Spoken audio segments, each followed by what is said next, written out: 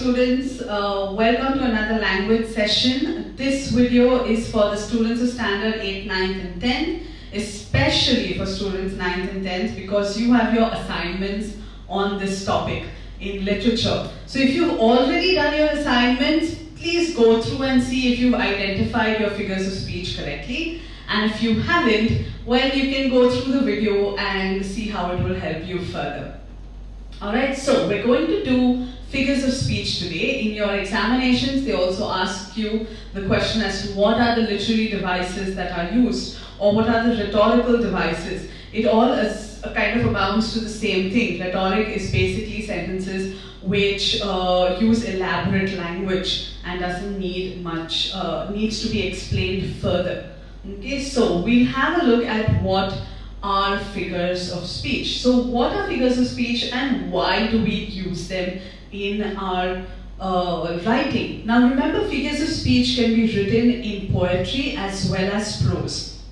You must have seen or you must have at least studied a few figures of speech. No harm done, you can always revise on some of them and we will build more on what you already know. So let's move ahead. What are figures of speech? They're basically words, expressions, phrases that you use okay, to enhance your writing. They serve the purpose of making your writing better, okay, ornamental value as it's called. Uh, it adds more weightage to your writing and obviously it looks more flowery and beautiful.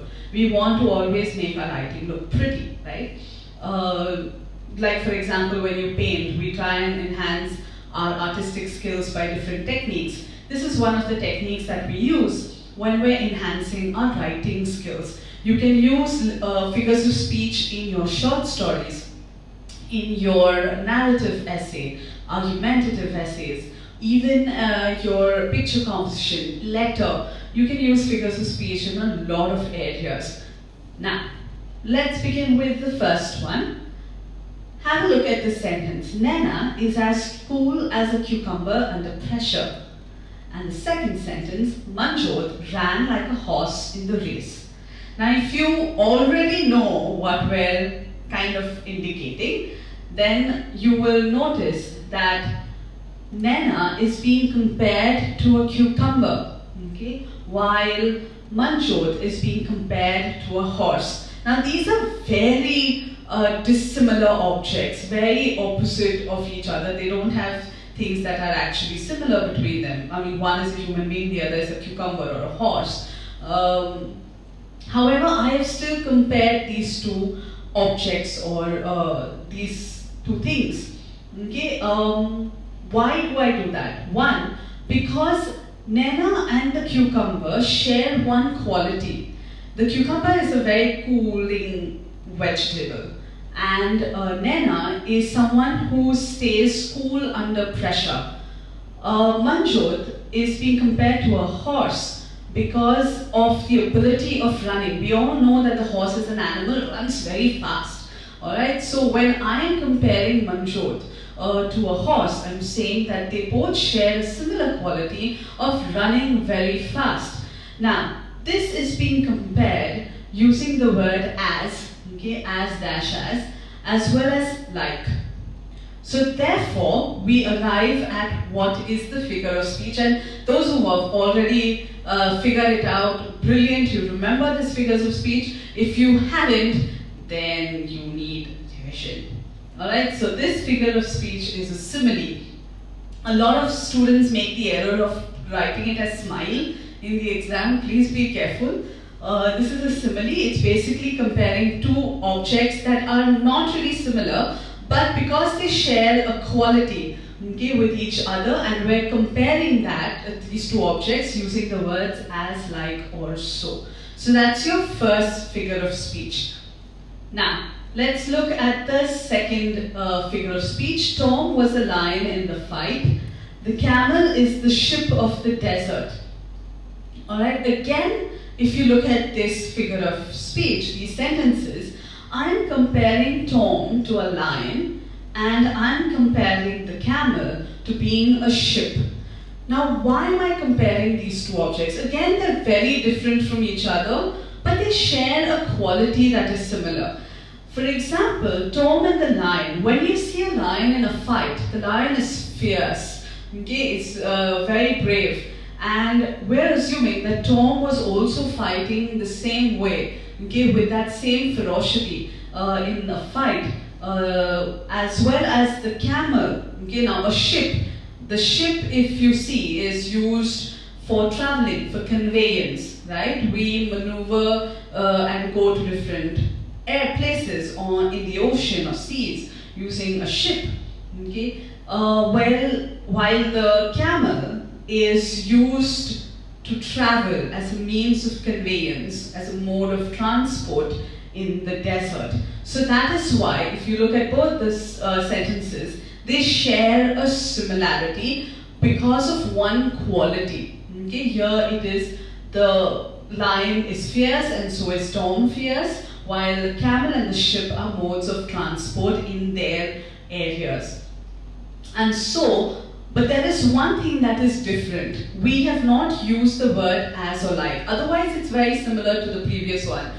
For example, I can say Tom was like a lion in the fight, right? That would make it a simile. But I have not used the word like.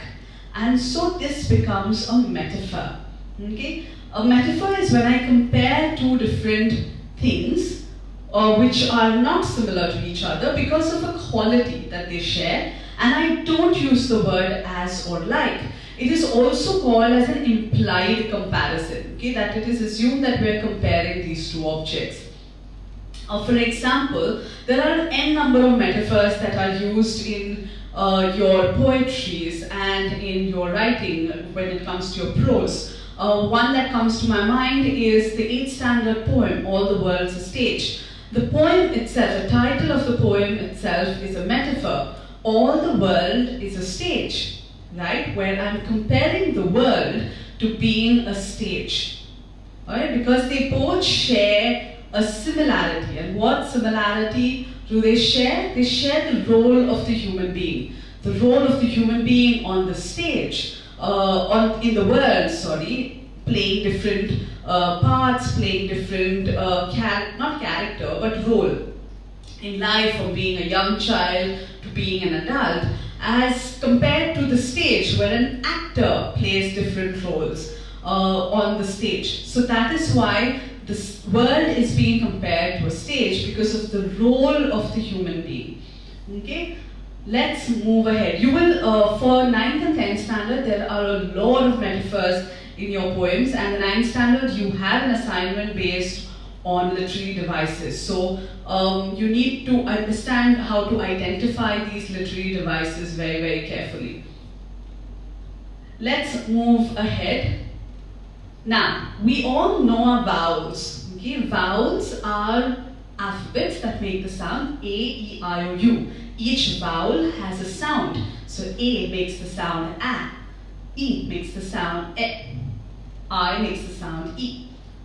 Okay, so vowels have certain sounds. The other part of your alphabet is the consonant. Okay, they're not vowels and they include alphabets like B, D, H, G. Okay, so uh, and the others that follow which are not your vowels. Okay.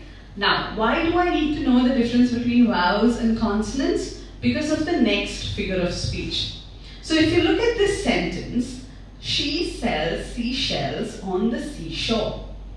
Okay? Yeah, it's a tongue twister. I'll challenge you to say this as fast as you can, and it sounds hilarious. You can try it even at home with uh, your loved ones, mom and dad. Just get them to say these sentences fast. It is hilarious. Alright, and look at the next one. This is long. Betty bought butter, but the butter was bitter. So Betty bought but better butter to make the bitter butter better. Okay, so uh, these are like your language uh, tongue twisters. However, they're also indicative of a figure of speech. What kind of figure of speech? If you look at this sentence, the S consonant is repeated um, several times in different words. And the letter S is uh, the first letter uh, of the different words that are used. Same way, Betty, uh, sorry, the letter B okay, is repeated several times over and over in different words at the beginning of each word. Therefore, and this adds like a rhythmic value. It adds like a poetic effect to your writing. Therefore, this is called as an alliteration. An alliteration is when you repeat a consonant sound. Remember the sound and not necessarily the alphabet. It can be repeated twice or more than two times. Okay, so it is the sound of the consonant and not just the alphabet that is repeated because the sound gives us that poetic effect.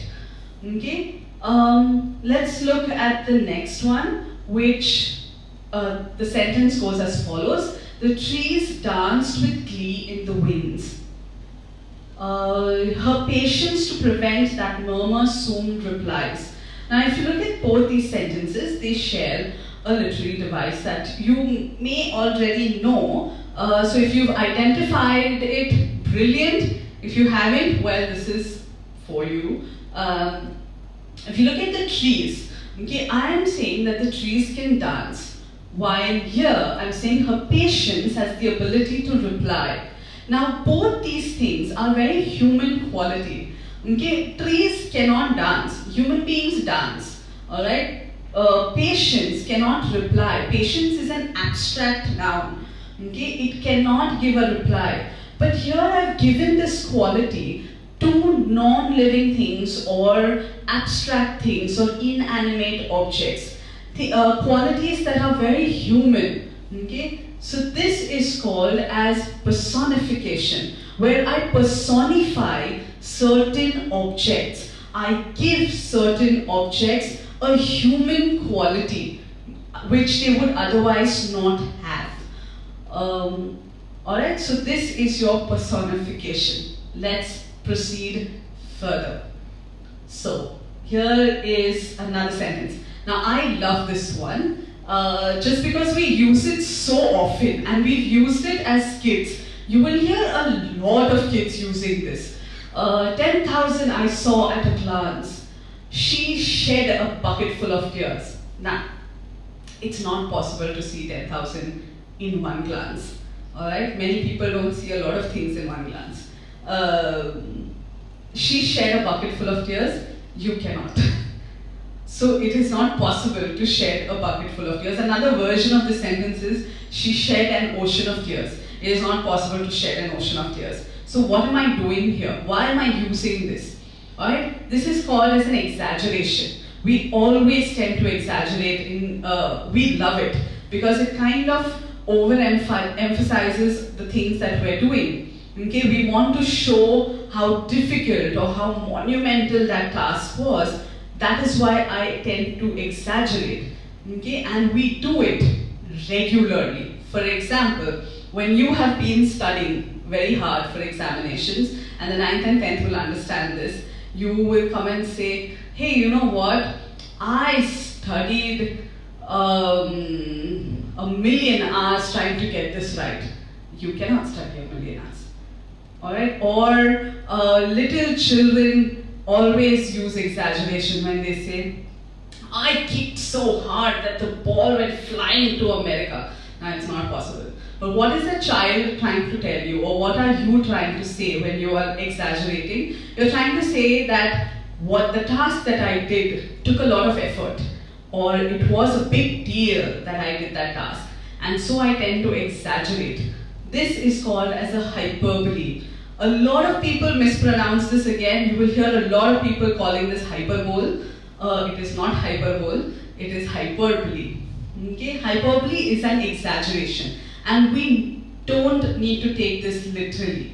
Okay, we need to take it figuratively. That's why you mustn't you mustn't ever say I literally did this. It sounds wrong. Okay, uh, let's move ahead.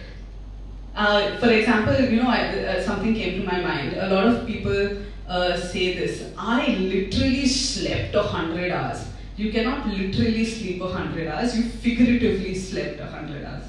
So yes. The next one.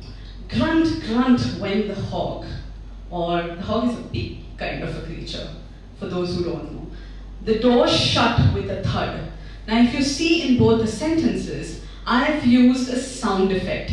We humans love uh, sound, and you will see this in one of the figure of speech. We love uh, things that give us a sort of visual imagery or gives us an indication of what it may look like.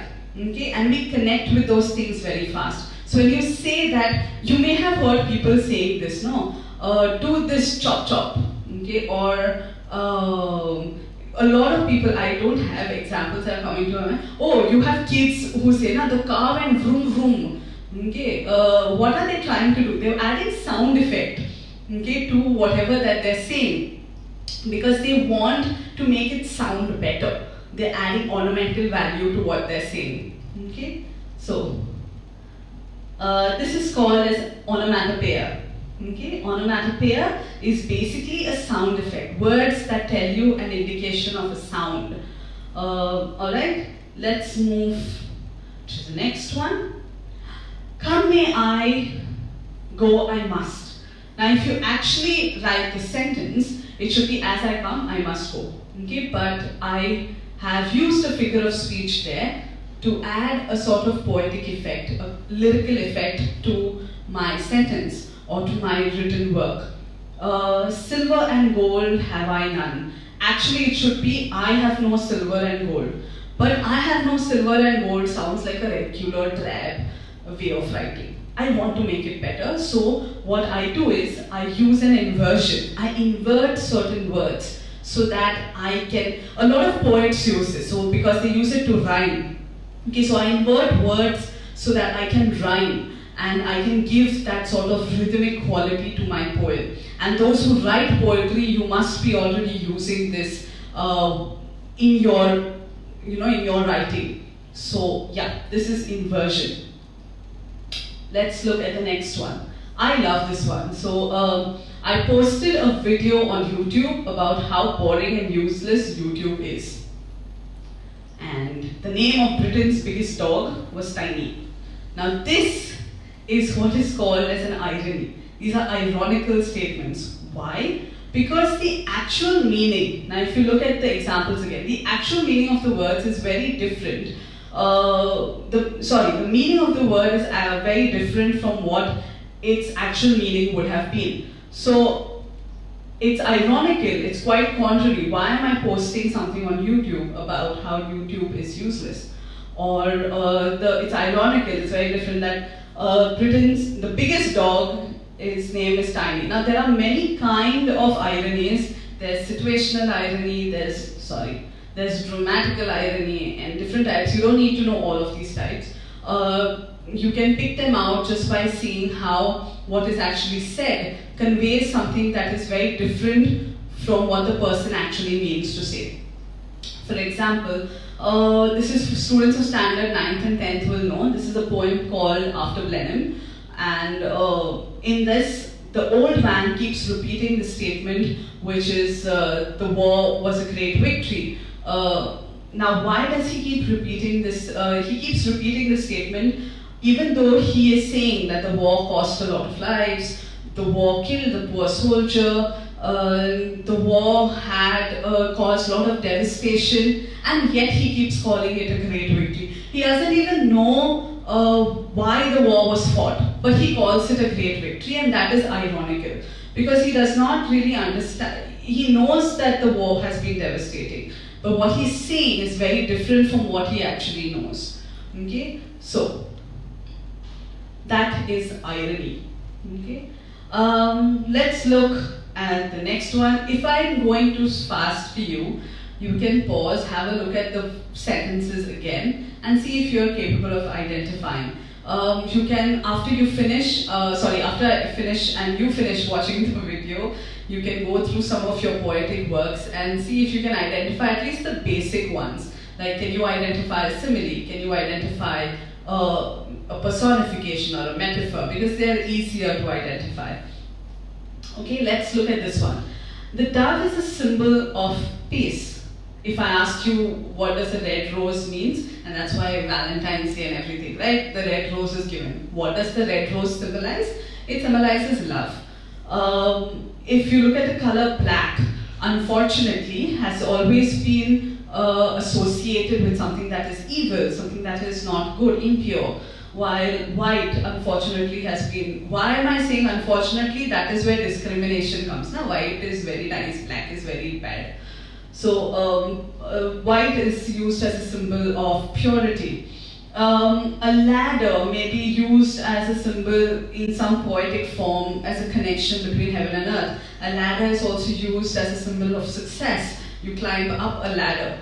Um, a broken mirror can be uh, to, in, uh, to symbolize broken relationships or a broken or broken trust. Okay, so all of these are objects which are used to symbolize different uh, emotions or different things. Okay, and we use symbolism a lot in poetry and in written work. So 9th and 10th, if you want an example of symbolism, uh, this is what symbolism is. You can pause and read what it is. Uh, but you need to understand how it is used. So for example, the old man at the bridge, lots of symbolism okay, that is used here. One of the symbolism could be uh, the goat, okay, one of the animals. If you look, what does it symbolize? The goat is a symbol of all those victims of war. Okay, the innocents who die because they're not even part of the war, but they're uh, they're killed in the destruction okay, of the war. Or if you look at uh, the bridge itself, the bridge is a connection of life okay, where uh, the person has an opportunity to save himself. Okay, so the bridge is the link between life and death. On one side is the army where the fighting is happening, where the artillery, artillery is there, where the enemy is approaching, and on the other side you have life, a chance of survival. So the bridge is that connection between death and life, and uh, the old man is sitting at the bridge. It's his choice whether he's going to make that, uh, uh, you know, uh, trans, uh, what you call it, uh, sort of move across the bridge and save himself, okay, head towards a better life. Another example of symbolism could be, um, say, the cat. The cat is a symbol of all those people who are independent and are capable of surviving. Okay, if you see the cat as an animal has nine lives, Okay, so these people, you could call them lucky, you could call them survivors, there are lots of things, okay, and so it is a symbol of, um, of survival. Okay, these guys are survivors, they're making it through. Okay, they are going to eventually live through the war, okay, and live to tell the tale of the war. Um, so this is Old Man and the Bridge, lots of symbolism in it. Uh, there are other chapters and poems also that you can go through which have um, symbols that are used. Say even your bangle sellers has a lot of symbol. Each bangle is a symbol of a, of a stage in the life of a woman. Okay, uh, your, um, yeah, so I'm going to stop at that. I'm not going to tell you everything. Figure it out also a little. Now, uh, let's look at, this is a poem by Edgar, Allan Poe. He's another poet. And uh, I'm not going to read the whole thing, but if you look at this, the word bells of the bells keeps repeating. Now, by that itself, you should understand what the figure of speech is. This is repetition. Okay? Repetition is where words, phrases, sentences are repeated. Okay? And it is used in poetry and in prose. For example, again in After Blenheim, uh, the word, the phrase, you know, it was a great victory, it was a great victory, is repeated. Why is it repeated? Because it is highlighting the irony of that statement. It is highlighting what the old man is trying to say, where they know how bad a war is bad, but they don't want to accept that. They, they keep saying that the war was uh, eventually a great victory, despite the devastation of the war. So that is why that phrase, um, this is also what is called as the refrain in the poem because it is something that is repeated at the end of the poem uh, constantly. Okay, so um, yeah, the great victory is a repetition. There are other such repetitions that are used. Uh, for example, um, from what I remember, um, 8th standard you have in the bazaars of Hyderabad, you know, the, the poet keeps repeating, what do you sell, what do you sell, what do you sell. So that is repetition, okay, because she's trying to emphasize on something, on how beautiful the bazaars of Hyderabad are, how exquisite they are in the wares that are sold there. Okay? Uh, yeah, now I'm going to read the sentences out for you. It was dark and dim in the forest. The children were screaming and shouting. He whiffed the aroma of brewed coffee. The girl ran with her hands on a soft satin fabric. The fresh and juicy orange is very cold and sweet. Now, just by the way I was reading it, okay, I was emphasizing on certain words when I was reading this, okay, because I wanted to uh, emphasize on what each word represents, and each word builds an image in your head. This is called as imagery, where they appeal to our physical senses. Which physical senses? We have five physical senses your sight, your hearing, taste, touch, and smell.